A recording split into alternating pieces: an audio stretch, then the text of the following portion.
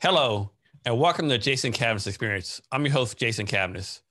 Our guest today is Emilio. Emilio, are you ready to be great today? Yes, we are.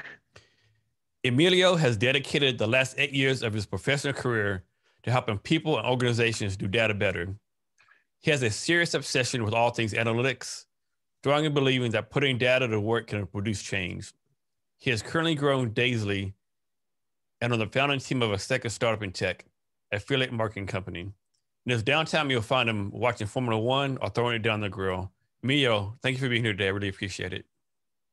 Yeah, no, thank you for having me. Uh, so, pleasure being here. So let's start with something important. Talk about your grill skills. My grill skills. Your grill Man, that, skills. that passion that passion started maybe almost I want to say like ten years ago.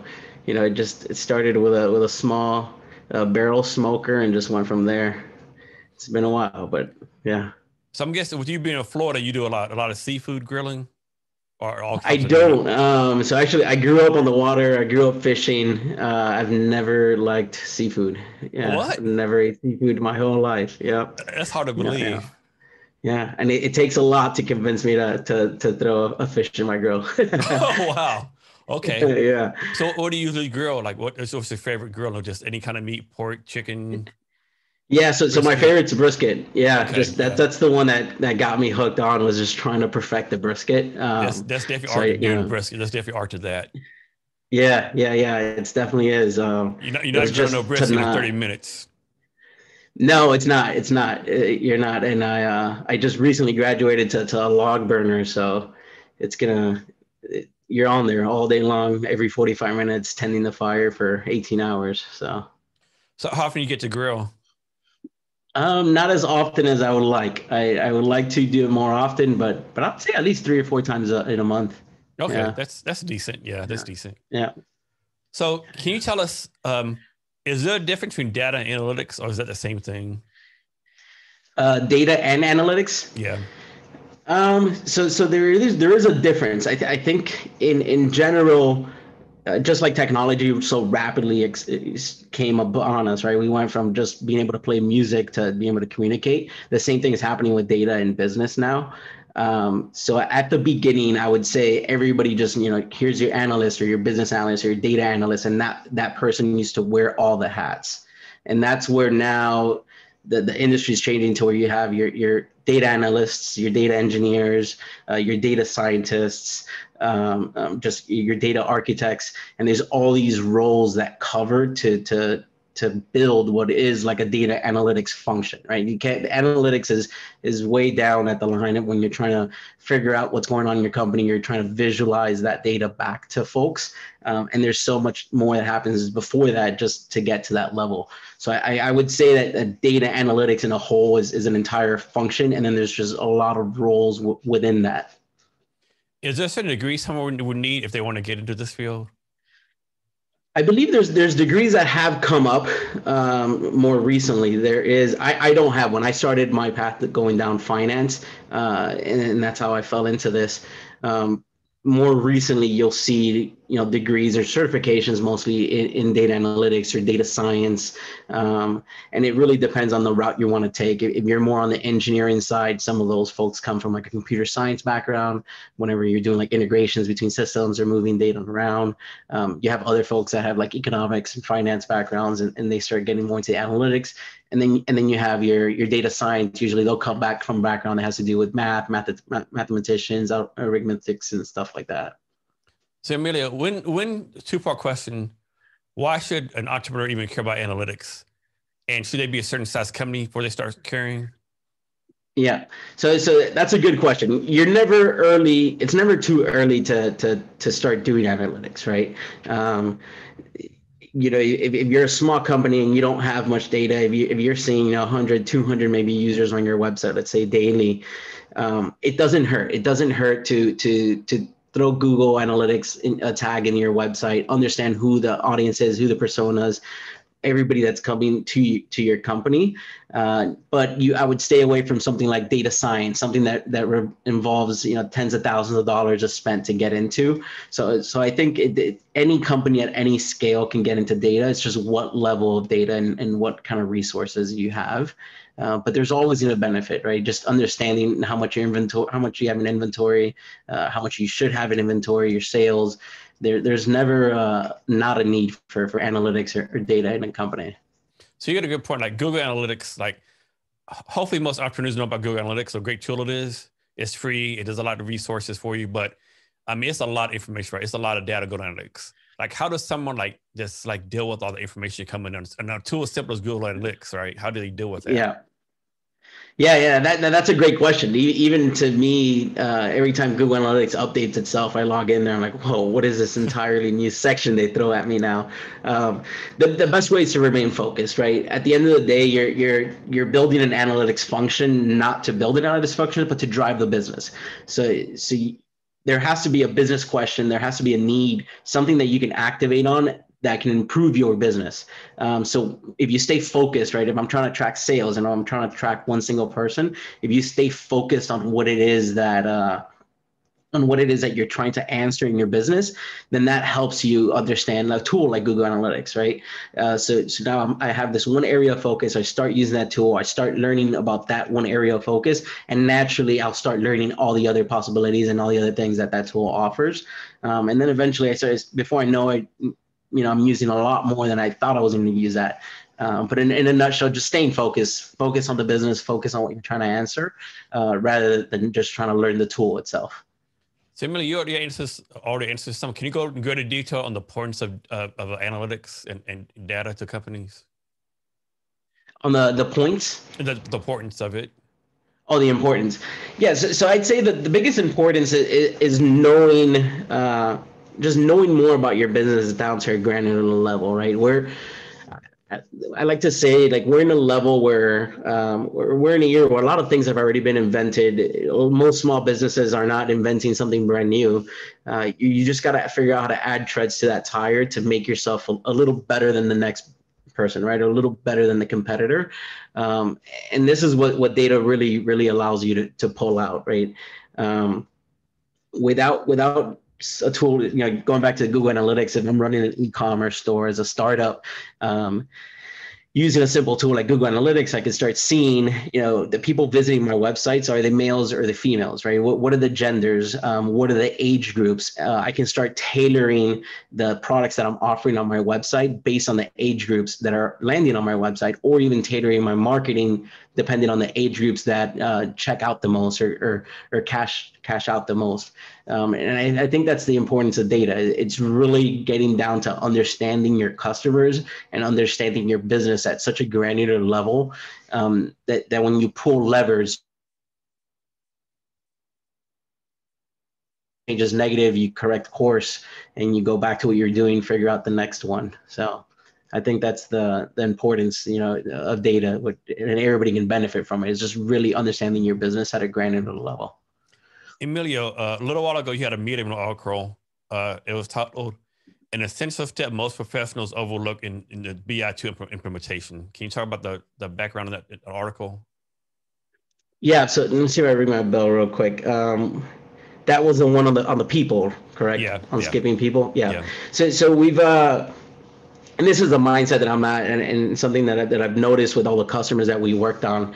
Uh, for due reason that a lot of bi tools they'll market themselves as like the end all be all you know like here's here's this one bi tool grab it you know you pay us significant amount of money this tool is amazing you put it in anybody's hands um, and it's going to work magic and for the most part some of the tools are really impressive over other tools um, but the, the the big tools the good tools they all do something similar. Um, they have different ways to end at the same uh, goals that you set for your company.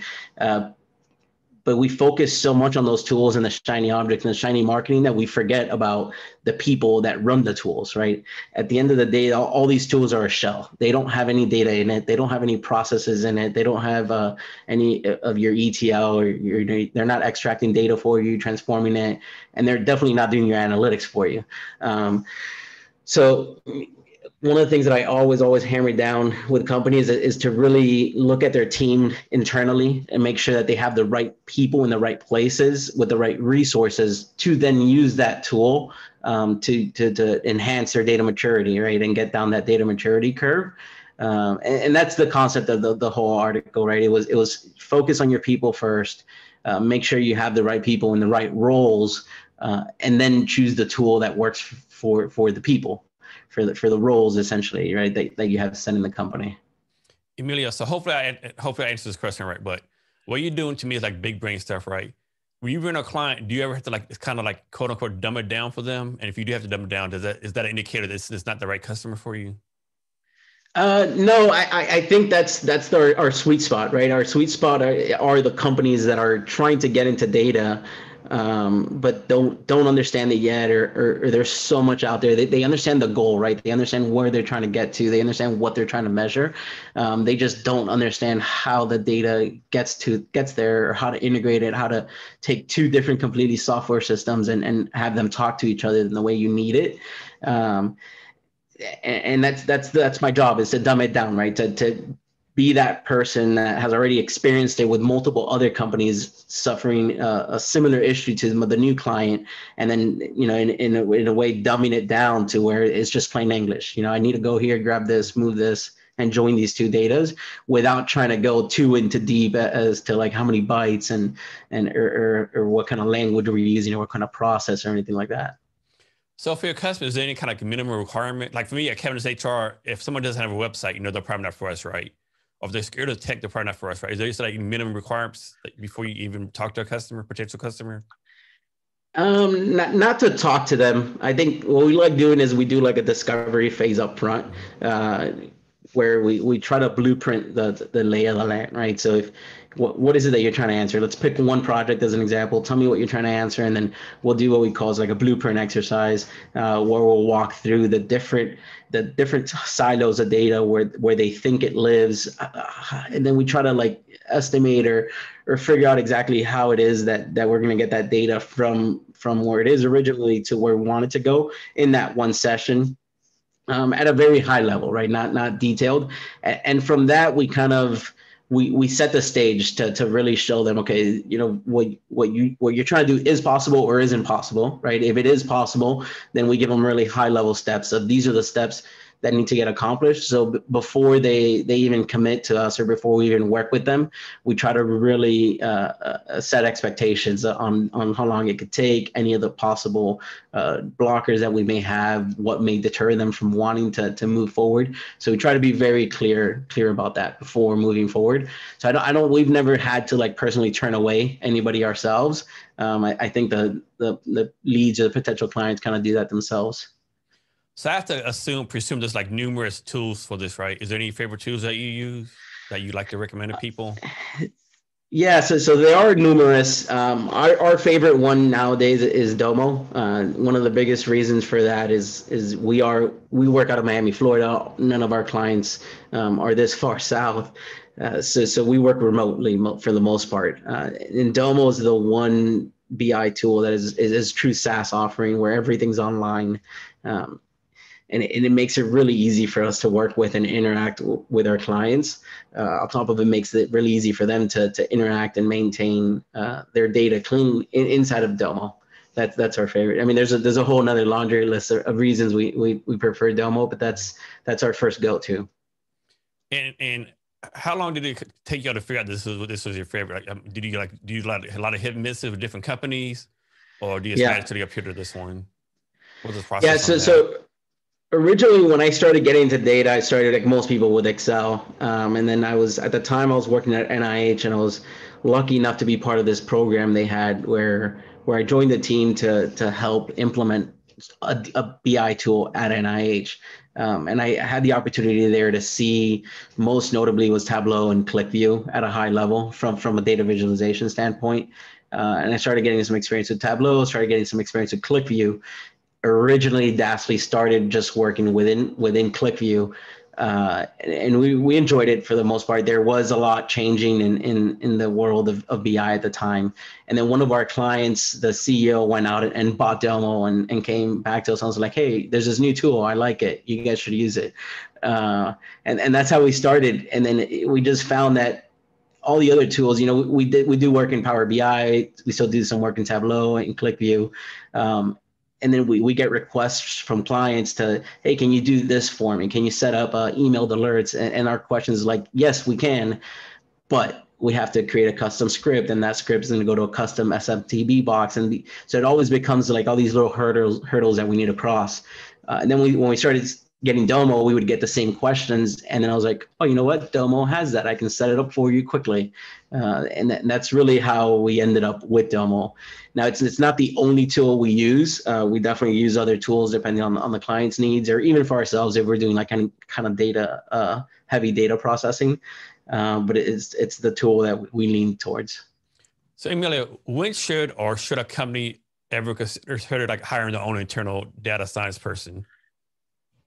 Yeah, so I think the that, kind of goes to our name too, right? Um, so what we try to do at DAS is the data as a service, like here when you need us, here when you don't. Um, my idea or my ideal client, I guess we start there, is is a company looking to start in a data program, right? It's they're they don't have the full budget for a full team yet. They understand that they want to do it, that they understand the benefits, um, but they don't want to go out from day one and hire a manager, an analyst, an engineer, and a, and a developer. Um, right there, you're, you're covering four four FTEs.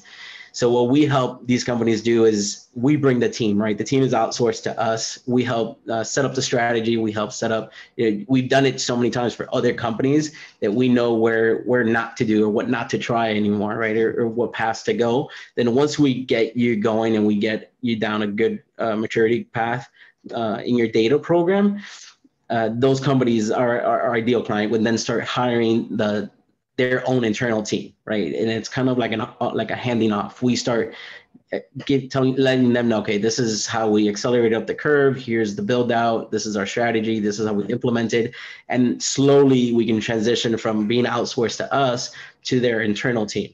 Um, now the benefit to doing it this way is we're, we're still around, right? We're, we're not going anywhere. We may lose, uh, you know, we may not be called on as much, um, but in the event that that that company loses a few members of their team or has a project that they need more uh, help with, we're already here. We already understand your data, and we can get spun up real quickly. Uh, to, I, I think I had remember reading a while back that it takes about six to seven months for an analyst just to understand the data of a company. Um, or just to understand how they're storing their data, understand. But because we helped you initially start that strategy. We did the foundation. We typically are still somehow engaged. We'll meet once a month, understand what projects you have going. So we'll always be here when you need more uh, need more resources. You know, is there a difference between like marketing data, sales data, HR data, or is data just the same across the board?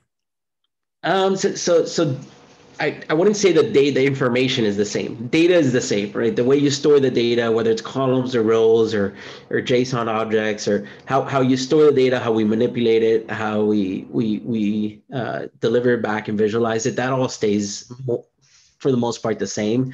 What changes is then the the information that you're deriving from it. So the, the KPIs, the metrics, uh, for example, your, your sales and your marketing team may use the same data and just get completely different KPIs, right? The number of sales, number of sales per rep um, versus, uh, you know, your conversion rate, number of leads to sales. You know, do I push more of what type of leads so it gets to the sales floor? Uh, and then on your other end, you have your, your workforce management folks. You know, is marketing pushing too many too many leads that we need to hire more sales reps? So they're all using the same data in different ways or looking at it from different angles. So the importance is to make sure your data is clean. Uh, so then all your different departments are, are getting different information from the same data. So I'm, I'm probably saying this wrong, but I think they're saying that like with stats, you know, you can manipulate stats to like make it say whatever you want to say, like it makes everyone's, it could be a lie or truth, it's just manipulated. Can I'm guessing data can be manipulated the same way. Yeah, hundred percent. That's and that's uh, you know, it's the same as stats, even your visualizations, right? If depending on what scale your visualizations at, something may pop up or something may just look flat on a, on a line chart, for example. Um, and it's not a, uh, within business, like most of the times that you see, you won't see it manipulated uh, kind of like in a malice way, but it'll be manipulated in a, in, you know, just from inexperience and by the time you you figure out that those issues right if you're sitting at a meeting and, and you you're seeing the data in front of you you're seeing the dashboard you're making decisions based on those dashboards uh, but it's not you don't have the time to go and ensure that the data is clean that the data is accurate. And you, will see it a lot of the times where uh, the company makes the wrong decision uh, starts going the wrong direction just because the data was was manipulated the wrong way uh, and it was giving them the same results um, something as easy as you know interpreting seconds as minutes or you know something like that and it just completely throws everything off so Emilio, right now, like in the workforce, we have like all these generations, like baby boomers, Generation X, millennials, Generation Z, generation whatever's coming up. And you might not know the answer to this, but do you find like different generations are more open to data and analytics or, or more opposed to it or? Yes, I, I do run across this a lot. Um, they're, for the most part, they're all open to it, would be my, uh, my feedback on there. The way they ingest it is significantly different um, where you see a lot of the younger generation that they're completely okay with with having a chart, setting up a notification or an alert that unless my phone rings, I don't, I don't even go look at my dashboard. I don't care to dig into it. I just want to let me know if something crosses X. Um, and then the older generations, you get more into like the finance type structure and reporting where they're really like tabular, right? The data comes across uh, uh, horizontally. Um, and it, it makes it it makes it hard it makes it hard to work with both those structures right whether your data is stored horizontally or stored vertically uh, it makes it hard to, to work between both of them so the way they ingest the way they, they they process data you can see the generational differences so how do you become so fascinated with this field what started you on this journey yeah, this is a funny one. Um, so I had I had gotten out of the military. Uh, I met my wife, girlfriend at the time. We moved to DC. I was going to school. Um, I wasn't sure what I wanted to do. I, I, always knew I wanted to be some sort of an entrepreneur. I wanted to try something on my own. Um, so I was just going to school, and then my wife gets home one day. I didn't have a job. Uh, she gets home one day with a newspaper uh, and just kind of pointed out that uh, that data was the future and that the NIH was having a hiring fair. I think she was uh, trying to tell me something there. So just a little uh, hint. yeah. So so I, I went to that hiring fair and, and I got hired um, at NIH while I was still studying finance. Um, and then it just it just stuck to be my in back of my mind that in that paper she read that said that data was the future. Um, and then I remember that one of the taglines they had was some people get it and some people don't. Um, and then I started to quickly notice that that I that I, I was able to see rows and columns of data and just quickly understand how to transform it, how to manipulate it to, to deliver the results or deliver the, the answers to the questions that people were asking. Um, and that tagline kept sticking on the back of my mind. So I just continued down the path. Um, and, and this is where I am today. Just got deeper and deeper into it and, and went more and more into to the engineering side. So you just it was just natural to you, just clicked and and it's gone on from there. Yeah, it just clicked. It just clicked. I uh, I I would do things. I would I would build out these like very overly thought uh, Excel dashboards inside of Excel, um, and then later I would I would I would run across an article that would tell me what the term was to what I had discovered on my own, but I wish I could have just I sh- should just googled it earlier. Uh, only if I knew that term, um, and it just it just came natural. It came natural, and I really enjoyed figuring out the issues that people were having, or or getting people access to information that they couldn't. Um, well, you know, my bosses at the time, and it just kind of became a passion of mine to to to to play with with it. Can you tell us something about how, how being in the military has helped you being an entrepreneur? Yeah, so so I think the the the biggest takeaway I got from the military is is being a lot more outgoing and confident, right? I, I don't think I was that confident in myself or my abilities before the military. Um, it was really after the military where where I definitely got a lot more confidence to to try to do an entrepreneurship or, or, or just take risks, put myself in situations where where I don't feel comfortable, um, and and seeing how I come out on the out on the other end uh, I still get super nervous before I go into the situations, uh, uh, but afterwards, it's you know, it, I, you know, I did what I needed to do, and I, I, think that was the biggest takeaway I had from the military. Um, was just the confidence uh, and, and just meeting different people, right? Meeting different people, getting to see everybody from different backgrounds. Uh, that that really pushed me towards you know helping me be an entrepreneur. Um, I more so I'd say the military extremely helped me in, in data, right? It's I always had an OCD personality, or I've always wanted perfection, um, but I never knew if it was the right thing or not. And then I remember that just being one of the things in the military, like you know, everything had to be dress right dress, everything had to be clean, everything had to be by a certain way. Um, and then I remember reading, I think it was uh, Colin Powell's book where he mentions uh, that you know you, you don't be that person that walks by a little piece of trash on the floor and leaves it there right? Because anything that's out of place could just trickle down. Um, and that's one of the biggest things in data is just making sure that everything's balanced that everything's accounted for that your governors governance is in place. Um, and those, those are all traits that i think i really acquired from the military uh, that it wouldn't be where i am today without it so. Emilio, with data analytics, you know, all that kind of stuff, data science. I think the stereotype is people working as like nerdy, geeky, you know, like, you know, in the corner by themselves, hacking yeah. away. Is that stereotype true? Um, I don't, I don't know if I would say it's true. It, it, it is dominant. There is a lot, right? It's, you get a lot of introverts. You get a lot of introverts, people that that, that are just fascinated with uh, figuring things out, or, or, or tinkerers, right? And that tinkerers in the digital in the digital age. I like to think about it. Um, one of the biggest things about running a data team is making sure that they don't go down a rabbit hole, you know, and they go too far that they're not being productive. Um, but but I don't I don't think it's a I think the times are changing, right? Times are changing, especially, and people are noticing that the benefits, there's the demand is so high, and there's not enough supply. And you have so many people from different backgrounds coming in and, and understanding the benefits of data. Um, so I think that the, the persona is definitely changing to who is a data uh, data type person, but but it's still pretty pretty nerdy and pretty introverted field, that's for sure. So for the people on your team, like you just said, you know, keep them going down rabbit holes how do you keep them like keep from down going down rabbit holes and, and balancing the data versus the business case and taking care of the company you're, you're dealing with? Yeah so, so it's just project management you know you have Kanban board. We we when we we try to do discovery as much as possible on all our tasks once if we have a good set of, of requirements a good set of rules that we're what we're trying to build or what we're trying to achieve um, and then setting deadlines right? As soon as you have those deadlines, go over them once a week in stand-up meetings, uh, and I, I, think that's what keeps us on track. So you're you're still allowed to go down your rabbit holes so long as we're we're meeting our clients' expectations as as the turnaround times. Um, like you know, a lot of these people they're very intrigued with information or understanding things, so you'll still find them going down rabbit holes. I actually had one of my guys, I, I, go and he like push to change at like three in the morning. I was like, what are you doing up at three in the morning?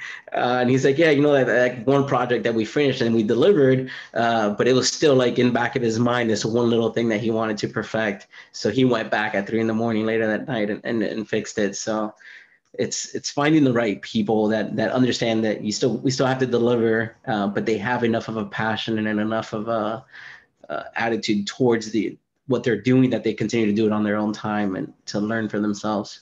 So like, so I'm an introvert myself. And I know a lot of introverts, like we, we think, we think, but we don't say what we need to say, right? How do you make sure that your introverts actually speak up and talk when they like need has something of value to add instead of like keeping themselves? Yeah.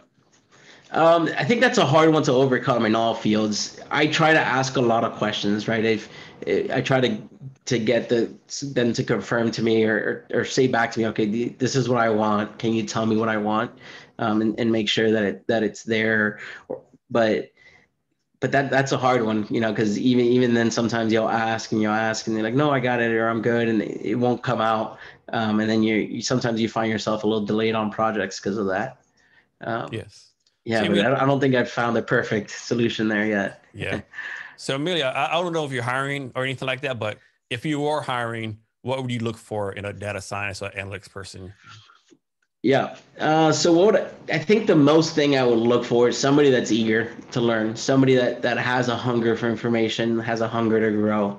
Um, you know, there's it's always nice to find somebody that has a background in, in say like SQL or has a background in, in, in a specific data visualization tool or something like that. But I think some of the best hires or some of the best people that I've worked with, they started from somebody that that wasn't a business role or wasn't a developer role, and and they somehow they were tasked with with an analytical project by their boss because they trusted them enough or thought they were capable of doing it, um, and then they find themselves down a very unfamiliar path and somehow figure it out, right? It, it, may not be the best solution or it may be very manual of a solution, but they figure it out. Um, and then that's where that hunger starts to for data and information and, and being analysts, uh, not necessarily uh, somebody that went and got a, certificate in, in, in doing SQL, right? That And that's what I look for in resumes. I look for people that have different backgrounds, different experiences, um, and, and they really seem like they like data and they like figuring things out. So Emilio, like if you're a software developer, you can either go, you know, get a four-year degree from a four-year school or go to a six-month code academy. Is it the same thing for data science analytics? You get a four-year degree or go to some kind of data science coding academy? Um, so, so I don't, I know there's a few data science coding academies, right? I, I know down where I'm at, there's a few what they'll call like data analytics or, or, or just a data coding academy, but they're all they're all data science based, right? They're all in the predictions using R models and Python, um, and, and, getting more from like away from the traditional just reporting. Um, is there a difference? It, it's hard for me to say just because I, I never did that. and I didn't do the traditional uh, four-year degree in, in, analytics or anything of that sort. Uh, finance kind of touched on on KPIs and, and figuring out numbers, but but not analytics per se.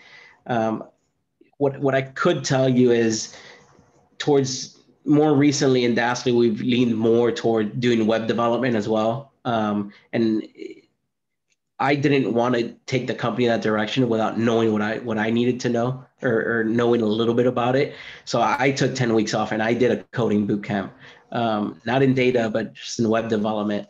Um, and coming out of that boot camp, I could see where my personality, if I would have done that boot camp for 10 weeks when I was younger and started off as a developer, I probably would have ended up farther faster than going and, doing four-year degree in, in in computer science.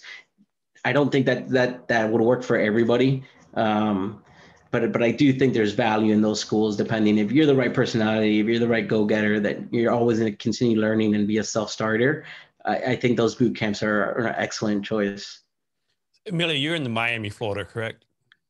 Correct. Yeah. So like Miami, I know has like a growing tech scene, growing star scene, but I don't think it's on the level of Austin, Seattle, the Bay Area, or New York City yet. Correct. Having said that, what have, have what have been the advantages or disadvantages of doing a tech company there in Miami? Um, I think the biggest advantage is the weather, right? Uh, it's it makes hiring easier, that's for sure.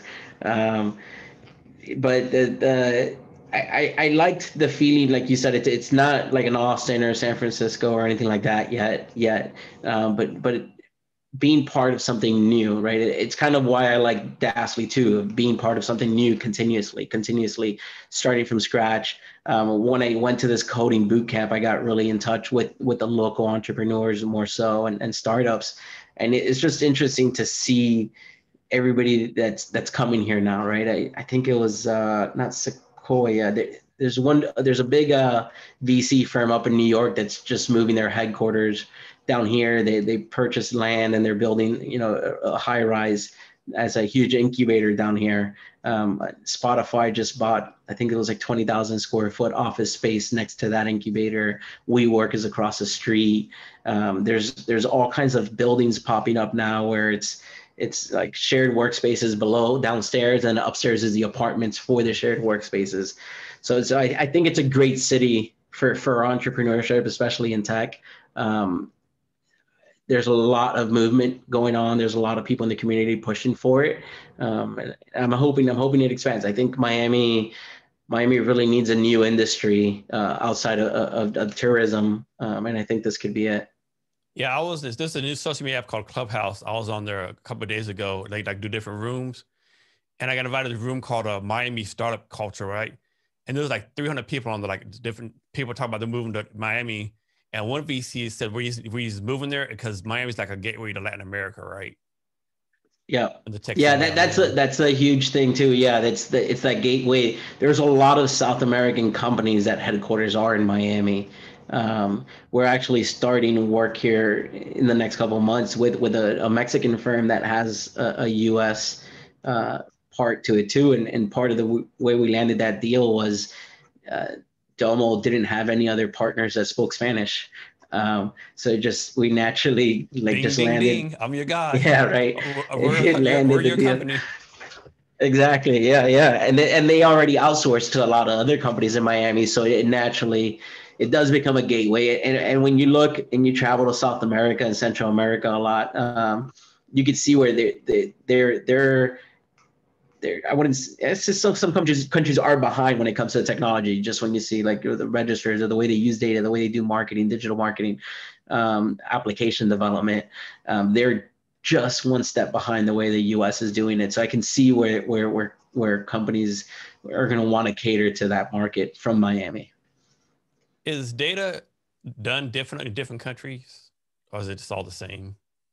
it's all the same. That's that's the funny part. Uh, that's what i like about data. It's it's a universal language. The way some metrics are calculated may be slightly different um, but in a in a general sense you know the way the, the company that we're working with here soon is is in the uh, operation space like in, in in, in warehouses and and reviewing their requirements and their needs were the almost exactly the same to another company that we worked with that's just us based um, so you know your, your your impressions, your clicks. When it comes to marketing, your impressions, your clicks, and conversions, bounce rates, all that, all those metrics are still universal, no, no matter what country you're in. Emilio, is your wife involved in your company too? She is. She is. So she she's uh, one of our co-founders. She runs all the uh, administration, operations, ensuring all our, our documents, security, all that stuff is good to go, and the project management. So hopefully the next question doesn't get you in too much trouble. But you talk about the pros and cons of running a company with your spouse. Yeah, the pros and cons. Uh, so, so I'll start with the cons. I think the cons are work doesn't work doesn't end.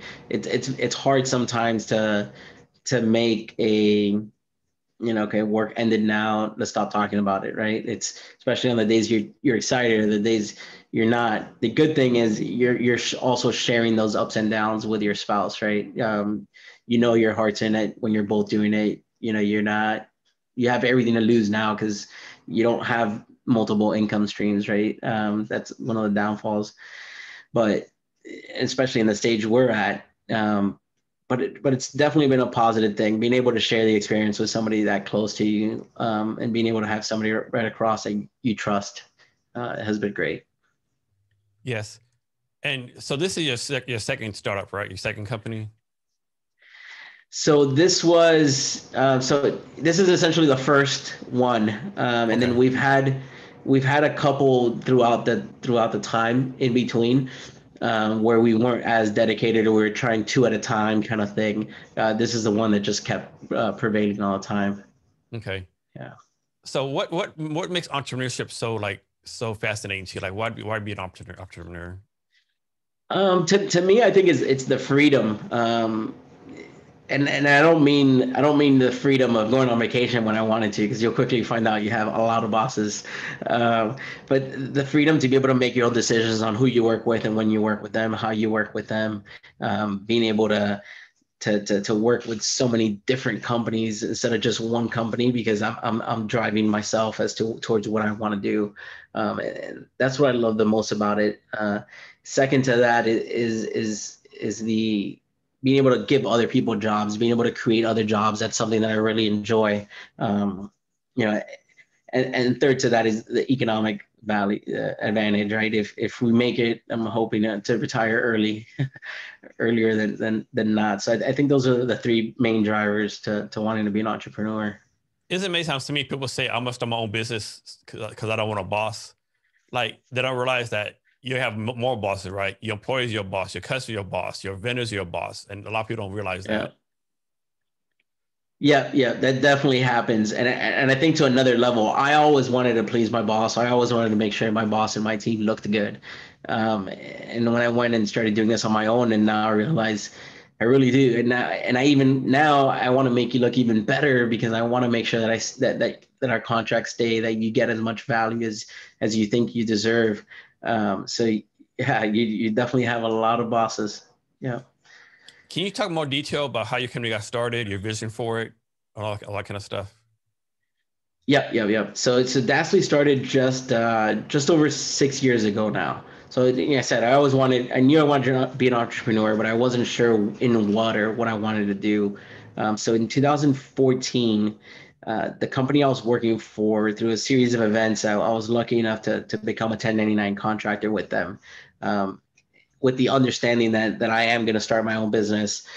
Um, so so that gave me a lot of freedom to be able to go out and, and think what is it that I want to offer? What is it that I can bring to market uh, within the same realm, right? At the time, I was working as a BI manager within the same realm of what I was doing. Uh, and then I, I, started to realize that that repeatable need, right? Um, all these organizations I had worked with up to the time, they wanted to, they wanted to, to, to start a data program. They wanted to, to get more information and leverage their data, um, but they would always underestimate the staff required. And then that you know they would put all that effort into buying the best tool. They would get the best tool put it in the hands of their current sales folks or their current leadership um, and then let that play out for a couple months up to upward to a year a year and notice that they weren't getting the value that they needed or the value that they expected back. Uh, and then that's where we would come in, right? Uh, somebody would refer to me. I would I would come in by myself and help them set up that data strategy. Uh, and then most of the time, you would notice the companies that were really dedicated to it and had the funding, they would put the budget, implement the plan, go out hire three to four people for this team, start it up, and get going.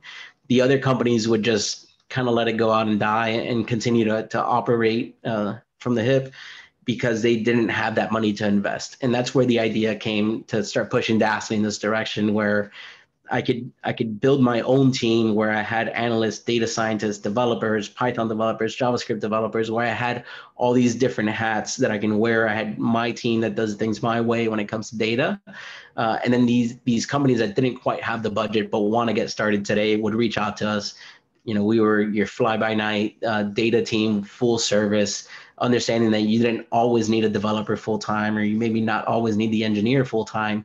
Um, so we would work out the retainer projects to where you only use us as much as you need us to get to achieve your goals and we pull back when you don't need to um, and that's that's really how we started that's how everything started picking up how the process started becoming uh, repeatable how i was able to to start focusing on who the ideal clients were and started focusing on where I wanted to work in what area. Um, and that that's that's what brought us to to today. And what's your what's your vision? Like you want to be the number one data company in the United States, number one data company for like certain type of businesses? Yeah. Um, I don't I don't know if I have uh, a certain goal for that moment, right? I, I think my longest term goals are, are just within the next two, three years. Um, I think to say that to be the number one, you know, something like the number one company in data, it, it, it's hard because there's so many different avenues. There's so many different things that you can focus on within within data. I think uh, for for right now, my goal is just to continue growing the way we've been growing, uh, continue to serve our, our clients as, as best as we can, uh, keep them happy, and, and see where we go from there. Emilio, is there a limit on the number of companies you can handle, or is that unlimited? Um, there is a limit. So so right now, I think we're like we're two three months out from being able to take new work in um, as we try to scale. So that's that's another end where it's a little been difficult is is trying to balance the the full timers on our side versus the contracts coming in, um, and then ensuring that we can rotate people around different contracts enough so we all have knowledge of all our clients' data. Emilio, do you have like a perfect customer? And if you do, how do you how do you find them? Uh, how we find them. I'm, I'm still looking. I'm still trying to figure that one out. That's for sure. Um, so, so our, our perfect com- uh, customer is is uh, our, our ideal customer is, is somebody that's understands the value of data, that understands how they can do better when they when they see the data and see the information that their company is giving them or telling them, um, and that they're they're they're open open to to giving things time to to build out uh, really solid foundational programs revolving their data strategy uh, and moving on from there. Is that that's our ideal customer? Somebody that's that, that's grounded and understands the benefits. So obviously it's not the same thing, but if you bring on someone to your SEO, the SEO person always tells you, hey, it's it's no quick fixes. It's going to take six months to a year. I'm presuming the same way with what you do, right? It's not a quick fix, right? It's going to take time to get everything up to speed with your with the company you bring on. Correct. Yeah, it, it does. It takes time to get up to speed. Uh, where, where it differs a little bit uh, from something like SEO is that every time you tweak something in SEO, it then takes you know every new project takes X amount of months. What what what I try to drive in really deep to when we first started in a project or a data project is the more time we spent up front on the foundation and, and figuring out the strategy, then every project after that becomes faster. Because once you once you build your first dashboard every dashboard after that within that same vertical of the company becomes just an offshoot of the of the first one right? So because we we load all your data first we cleanse all your data clean all your data get everything ready and then you can start building out analytics and building out dashboards quicker. Um, you're just going to have what seems uh, like just background work for for the first six seven months at minimum. Emilio how do you prevent information overload? Um, that, that's the that's a that's one that that we fight all the time. So the way we prevent it is is not to put too much in in a dashboard, right? Our ideal dashboards will not have more than four metrics on them. Um, they won't have more than five or six visualizations, and then that's on the heavy side. Uh, so it's it's a matter of building your dashboards to where they tell a story and they take down uh, they take the, the users down a, a path to to guide them through the their different KPIs and what they're looking for within the company, uh, rather than just giving them one rand. The key to, to to the information overload. So Emilio, you talked about this a little bit already, but can you talk more detail? Why would a company even want to outsource this? Because it's like you know something that's important. They want to do it internally. They will not want to trust like an outside company. Why should they outsource this? Yeah, so so I, I think the biggest benefit to outsourcing is is just the the, the speeding up, right? It's it's expensive. Data people are expensive. Hiring data engineers are expensive. Um, and, in hiring somebody like us, we've worked with so many different companies. We've implemented and integrated with so many different tools that that whenever you, you want to change your HR system, for example, or you want to change your, your, your CMS or your CRM, we already have that knowledge using those other CRMs or C- CMSs. We, we're not starting from scratch. Um, so we can either help guide your, your internal teams, we can take care of the work ourselves, or do it between, right? So I, I think that's the biggest benefit to outsourcing. Um, and then the second benefit to that is there's there's a lot of things in data. As much as you automate data there's always some kind of manual process or things break things change. Um, and, and some of the smaller teams you, you, do transition right? You grow up you get your staff gets another a job offer and they leave.